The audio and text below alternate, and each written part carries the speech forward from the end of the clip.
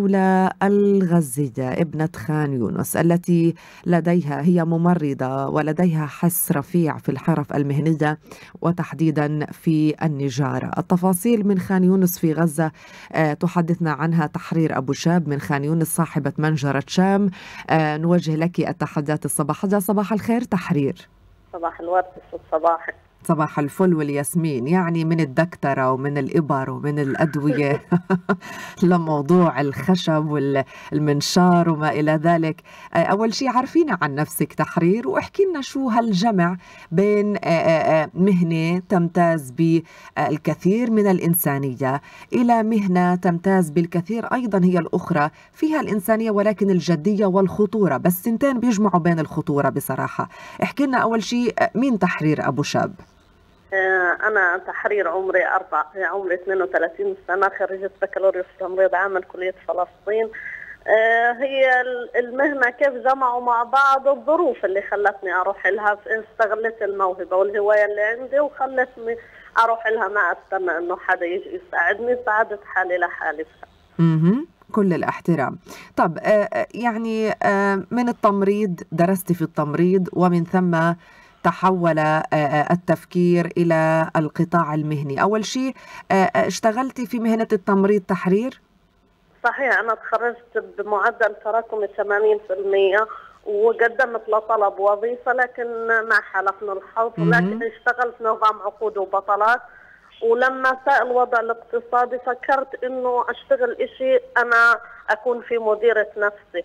هيك نعم. أنا طبيعتي حلو حلو جميل جدا ولكن في حال عرض عليك آه، العمل في التمريض هل ستعاودين التفكير في العودة إلى العمل في سلك آه، المهن الطبية؟ أكيد أنا بشتغل لما يجيني يطلع لي عقد بطالة بشتغل فيه بجانب شغلي في الورشة. مم. لكن هذا إشي خاص فيا شغلي الخاص المنجرة. نعم نعم. طب آه، يلا احكي لنا البداية كيف بلشت فكرة التفكير؟ آه، آه، إنه أنا بدي أشتغل في منجرة منجرة شام طبعا في خان يونس. من وين بلشت الفكرة؟ هي الفكرة أجتني كيف لما صار الوضع الاقتصادي وأنا بحب الرسم والرسم على الخشب وشغل الخشبيات والوالد اسير محرر فبحب يشتغل في الأشياء هذه الي له لبيته. جميل. أه، شاورته في الموضوع شو رأيك إنه أعملها شغل ثابت له مصدر رزق ما كان عنده رفض وكان هو أول شيء يساعدني ويرسم معي شابلونات وفي البداية لبين ما وقفت على رجلي لحالي بعدين تركني خلص حلو. يلا انت لحالك يلا يا تحرير. لما لقيت لما لقيت إقبال من الناس عليها عملت دراسة جدوى وخطة عمل ونفذت المشروع. والحمد لله رب العالمين ربنا يكرمنا. جميل جدا رائع جدا. يعني تحرير أنت مثال للمرأة الفلسطينية بصراحة المصرة على أنها قادرة وتستطيع وكيف نستطيع أن نوظف الصعوبات الحياتيه والمطبات التي قد نمر بها أن نوظفها بشكل صحيح. إيجابي. الإنسان ما يخلي شيء حطمه هو الإنسان هو اللي بيبني نفسه وهو اللي بيهدمها. نعم. أنت طب. شوف إيش الطاقات اللي عندك إيش القدرات اللي عندك وحاول تسخرها في مكان تستفيد منه.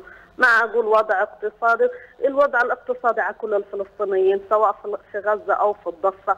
بس اللي بيفرق إنه الإنسان هو اللي بيأذي حاله بحاله. أنا ما بحكي لك إنه إحنا عايشين في الأحلام مم. بس برضه إنه أنا بديش أستنى حدا يجي يساعدني لأنه أنا واولادي حموت من الجوع لو ضلتني أستنى صحيح.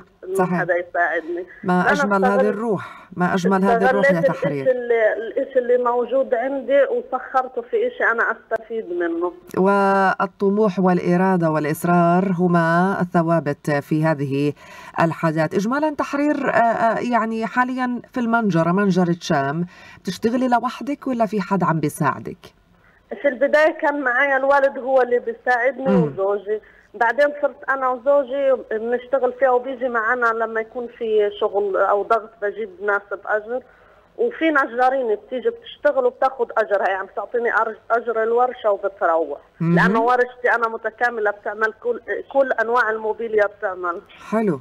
حلو فصلتي إشياء مميزة تحرير وتحكي لما بيكون في ضغط بجيب حدا يساعدنا معناها ما شاء الله وندق على الخشبه تحرير عشان عين آه الحسود في يعني في إقبال بيكون في عنده طلبيات آه بيكون عنده طلبيات بشتغلها فلازم أجيب حدا إنه يساعد. بأجر يعني مهم. مهم. طيب تحرير القبول المجتمعي كيف كان؟ والله أنا شخصيتي من الناس اللي ما بركز في إيش بده يحكي طالما أنا عارفة حالي شغالة صح بركزش في حدا. وبعدين الوالد وزوجي معي يعني بدي أستنى رأي مين؟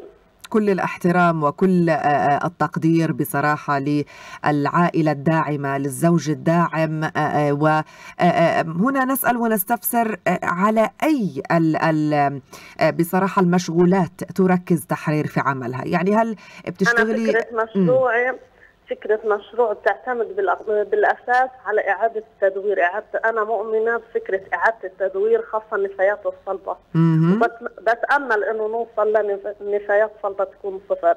مشروعي بيشتغل إعادة تدوير أخشاب مشاطيح وأخشاب تالفة أشجار زيتون وظل فبشتغل على هذا الموضوع في جانب الأخشاب الجديدة. حلو جميل جدا. آه، آم، في هذا اليوم إنجاز آه، آه، رائع يسطر لصالح تحرير أبو شاب الشابة الغزية من خان يونس التي اليوم حدثتنا عن كيف نجابه الظروف الصعبة والقاسية وألا نقف مكتوفي الأيدي أمام هذه الظروف بل أن نوظف ما لدينا من مواهب من إبداعات من قدرات في سبيل أن آه، نحقق الأفضل والأمثل وأن نعتاش مما نملك من خلال قدراتنا إلى جانب الشهادة الجامعية التي أيضا هي الأخرى حاصلة عليها كممرضة.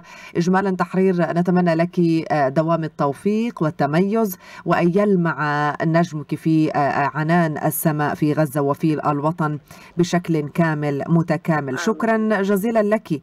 تحرير أبو شاب من خان يونس. صاحبة منجرة شام. شكرا لك ونواصل المشوار الصباحي معكم وأينما كنتم لا تنسوا